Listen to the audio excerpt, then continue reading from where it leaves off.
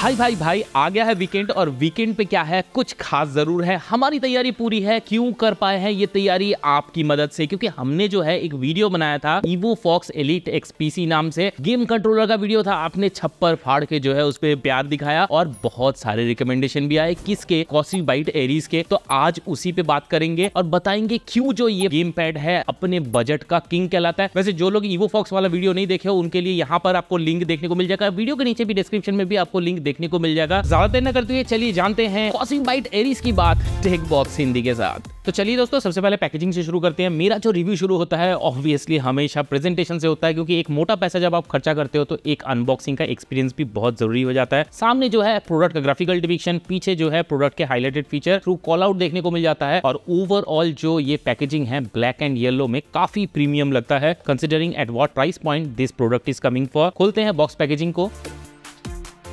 तो सबसे पहले जो है, जो सबसे ज़्यादा एक्सपेक्टेड था, वो है द गेम पैड इट क्या प्रीमियम है, क्या लुक है, आप देखो। जेड ब्लैक कलर में कॉसी बाइट वाले जो डिज़ाइन करते हैं, ये बहुत ही खूबसूरत लगता है, बहुत ही सही डिज़ाइन होता है और हाथ के ऊपर क्या रिजिड फील हो रहा है। इस पे आते हैं थोड़ी देर में, पहले देखते हैं और क्या क्या मिल रहा है बॉक्स के अंदर। सबसे पहली चीज़ हमें देखने को मिल रहा है एक 2.4 गीगाहर्ट्ज का डोंगल अब इसका डोंगल का साइज़ देख के ही बता सकते हो कि क्या बेहतरीन क्वालिटी इसकी होने वाली है। पीछे एरिस और सामने सीबी का लोगो रखते हैं इसे भी साइड में। में एंड नाउ जितने भी कनेक्टिविटी के ऑप्शन है, वो सारे यहाँ पे आपको और देखने को मिल रहा है। सबसे पहले जो देखने को मिल रहा है, वो है आपका type A male to type A female port वाला एक केबल देखने को मिल रहा है। ये कब काम आएगा? ये तब काम आएगा जब आपका बैटरी गेम प्ले के बीच में अचानक से रुक जाता है। तो इससे डायरेक्टली आप जो है लगा सकते हो इसको। ये type C to type A cable आपको मिल रहा है चार्जिंग के लिए। और साथ ही last but definitely not least हमारे पास देखने को मिल जाता है यूज़र मैनुअल जो कि काफ़ी बड़े बड़े पिक्टोरियल डिपिक्शन के साथ आता है। यहाँ पर काफ़ी सारे फीचर जो है इस गेम पैड के अंदर देखने को मिलता है। इसलिए ज़रूरी है कि आप इसको संभाल के रखो। रखते हैं इसको साइड में। यहाँ पर ये जो ओवरऑल जो एस्थेटिक है, इसका देख के आपका दिल खुश हो जाएगा। सबसे पहले देखिए इसके बटन को। क्या खूबसूरत बटन है। ये एक ग्लास जैसा आपको बटन देखने को मिलेगा। कनकेव शेप में है और हर एक जो अल्फाबेट्स है, वो उभर के सामने आ रहा है। ये आपका होम बटन हो गया। ये एनालॉग वाले जॉयस्टिक्स हो गए। ये डी पैड हो गया, ये एक्शन पैड हो गया और यहाँ पर ट्रिगर देखिए आप। क्या कमाल के ट्रिगर्स हैं। और साथ ही आपको यहाँ पे बटन भी काफ़ी रिजिड सॉलिड फील होता है। बिल्कुल भी मशीन ही है। बहुत प्रीमियम हाथ के ऊपर लेने पर ही बहुत प्रीमियम लगता है। 200 ग्राम के आसपास इसका वेट जो है ठहरता है। साथ ही, जी हाँ दोस्तों, जो आपकी क्वेरी है, यहाँ पे टर्बो और यहाँ पे ऑटो अच्छा आप में से बहुत सारे लोग ये भी जानना चाह रहे होंगे कि क्या ये जो इतने सारे लाइटिंग है, इसको बंद भी किया जा सकता कि नहीं? तो दोस्तों, बिल्कुल बंद कर सकते हैं। बैक प्लस अब अगर ए दबाते हो तो ये जो वी लाइटिंग है, ये बंद हो जाएगा। बैक प्लस एक्स दबाते हो तो यहाँ पे आपकी जो एक्शन बटन के ऊपर जितनी भी लाइटिंग है, वो बंद हो जाती है। लेकिन कौन बंद करना चाहेगा? आईसी सीरियसली डाउट, ये इतना खूबसूरत लगता है। हालाँकि हाँ रात वगैरह में गेम वगैरह कर रहे हो तो हो सकता है कि आपको यहाँ पर थोड़ा सा तकलीफ़ हो जाए तो आप यहाँ पे बंद भी कर सकते हो, वो सहूलियत मिल जाती है। साथ ही अगर बैक साइड की बात करें तो यहाँ पे एक छोटा सा आप होल देख सकते हो। ये जो है रीसेट करने के लिए दिया गया है। अगर कोई भी प्रॉब्लम आती है तो यहाँ पे आप रीसेट कर सकते हो इस गेम पैड को। बाकी बहुत सारे और भी एक्स्ट्रा फीचर्स हैं, इसको इस तरीके से दिखाने में मज़ा भी नहीं आएगा। बहुत प्रीमियम भी है और बहुत सुंदर भी है। तो इसके अच्छे अच्छे शॉट्स के साथ आपको पूरा जो है रिव्यू कंप्लीट कराता हूँ। टॉप शॉट के बाद चलो बात करते हैं अब वन टू वन की। यहाँ पर मैं बात करूँगा इसके ओवरऑल डिज़ाइन बिल्ड क्वालिटी और सबसे इंपॉर्टेंट चीज़ गेम पैड है तो इसके एर्गोनॉमिक्स की। तो सबसे पहले बात करते हैं, चलिए बिल्ड क्वालिटी से। तो यहाँ पर जो बिल्ड क्वालिटी आपको देखने को मिल रही है रॉक सॉलिड मिल रही है। Considering at what price this game pad is coming it's commendable what Cosmic Byte has achieved और यहाँ पर जो है, आपको कहीं कहीं रबर ग्रिपिंग भी देखने को मिल रही है। जैसे कि फॉर एग्ज़ाम्पल यहाँ पर जो एनालॉग जॉयस्टिक है, उसके ऊपर भी आपको रबर ग्रिपिंग वगैरह देखने को मिलता है। ब्लू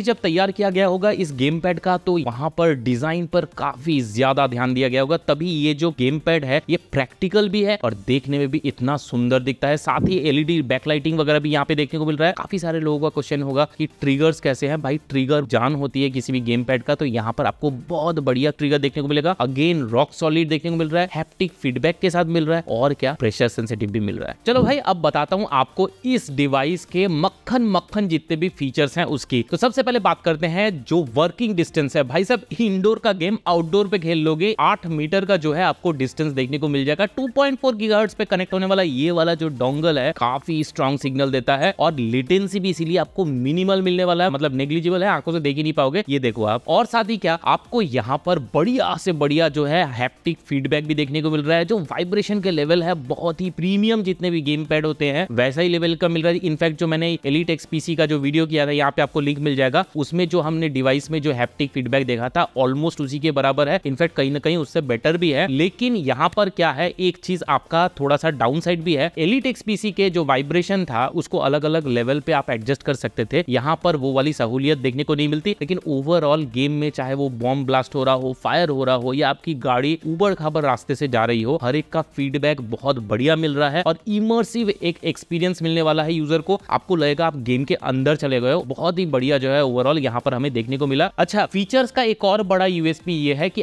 आपको यहाँ पर टर्बो बटन देखने को मिल रहा है। अब ये टर्बो ऑटो के साथ आता है, यानी कि अगर आप एक ही एक्शन बार बार गेम में रिपीटेडली करना पड़ता है, जैसे कि मुक्के पे मुक्का चलाना पड़ रहा है या फायर पे फायर करना पड़ रहा है तो यहाँ पर सिंपली इस बटन को असाइन कर दो और ये ऑटोमेटेड तरीके से आपको कोई भी बटन प्रेस करने की ज़रूरत नहीं है। ये वो जो टास्क है कंटिन्यूसली रेगुलसली आपके लिए करता चला जाएगा। रात भर की गेमिंग का एक्सपीरियंस मैं आपको बता रहा हूँ। अच्छा बात कर लेते हैं इस एरीज के कंपेटेबिलिटी की। तो दोस्तों, यहाँ पर ये जो एरीज गेम पैड है, ये आपके जितने भी डिवाइसेस है, उसके साथ कंपेटेबल होने वाला है एंड्रॉइड के साथ कंपेटेबल है एक्सबॉक्स के साथ है पीसी के साथ है, अपने स्टूडियो पे चेक करके तभी बता रहा हूँ। और साथ ही क्या, जितने बंदे प्ले से आ रहे हो और इस गेम पैड को ले रहे हो, उनको दिक्कत ना हो तो इसीलिए यहाँ पर जो है स्वैपिंग फीचर दिया गया स्वैप किसमें किसमें करोगे? लेफ़्ट जॉयस्टिक और डी पैड में। तो आपका जो है, पूरा जो प्ले का जो आपका एक्सपीरियंस है, वही यहाँ पर ले पाओगे। अच्छा बात करते हैं इस एरिस का एक और बड़े यूएसपी की। यहाँ पर जो है, आपको बैटरी बैकअप बहुत सही देखने को मिलेगा, क्योंकि 700 सौ का बैटरी बैकअप यहाँ पर आपको देखने को मिल रहा है। साथ ही क्या, आपका ये जो गेम पैड है, अच्छे खासे हैप्टिक फीडबैक के साथ बारह घंटे की जो है गेमिंग करा देने वाला है। लेकिन एक वार्निंग ये लोग लिख के दे रहे हैं अपने यूज़र मैनुअल में कि भाई साहब अपने अपने फास्ट चार्जर इससे दूर रखो। नॉर्मल वाले चार्जर से चार्ज करोगे तो सही चलेगी फास्ट चार्जर से करोगे तो बैटरी इसकी खराब हो जाएगी। लो भाई, मैंने हटा दिया है अपने डायरी को। पॉइंट सारे मैंने कवर कर दिए हैं। अब बात होगी सीधी की क्या ये game pad value for money ठहर रहा है कि नहीं, क्या ये गेम पैड आपके लिए है कि नहीं? तो सबसे पहले बात करते हैं ये प्राइस रेंज देखो, ये जो गेम पैड है, ये चौदह से दो हज़ार रुपए के ऊपर आता है। डिपेंडिंग ऑन किस तरह का मॉडल आप ले रहे हो, यहाँ पे दो तरह के मॉडल आपको देखने को मिलेगा। व्हाइट एक कलर मिलेगा ब्लैक एक मिलेगा और मॉडल में एक वायरलेस और एक वायर्ड मिलेगा। ओवरऑल जो प्राइस है, चौदह से दो हज़ार के बीच में रहने वाला है। अब इस प्राइस रेंज में बहुत मारामारी है, बहुत सारी कंपनी अच्छे अच्छे गेम पैड्स ला रही है। हमने इससे पहले जो है ईवो फॉक्स का भी वीडियो किया था। अगर आप उससे कंपेरिजन देखना चाहते हो तो वो भी हम कर देंगे। नीचे कमेंट कर देना बस। लेकिन यहाँ पर ये वाला जो गेम पैड है एक्चुअली वैल्यू फॉर मनी ठहरता है। मेरे हिसाब से, मेरी टेस्टिंग के हिसाब से इस प्राइस रेंज के अंदर इतना अच्छा हैप्टिक फीडबैक इतनी अच्छी बिल्ड क्वालिटी और इतना बढ़िया जो है आपको ओवरऑल जो एर्गोनॉमिक्स मिल रहा है, हाथ के ऊपर जो फील मिल रहा है, वो बहुत ही कम देखने को मिलेगा। और अगेन ये आ रहा है एक रिनाउंड ब्रांड की तरफ़ से कॉसी बाइट की तरफ़ से आ रहा है। तो यहाँ पर आपके सारी शंकाओं का निवारण हो जाना चाहिए। अब इसको खरीदोगे कहाँ से? इसको खरीदने के लिए दो तरह के लिंक आपको देखने को मिल जाएगा। एक एमेजोन का लिंक देखने को मिल जाएगा और एक आपको मिल जाएगा ऑफिशियल वेबसाइट का। दोनों ही लिंक जो है वीडियो के नीचे आपको डिस्क्रिप्शन में देखने को मिलेगा। आप दोनों ही लिंक चेक करना और प्राइस देख लेना कहाँ पे कम प्राइस मिल रहा है, वहीं से ऑर्डर करना और एक बार ऑर्डर कर लिया तो मुझे मेरे Instagram handle at the rate tech box India official पर ज़रूर टैग करना ताकि मुझे पता चल सके कि आपको मेरा सुझाया हुआ गैजेट कैसा लगा और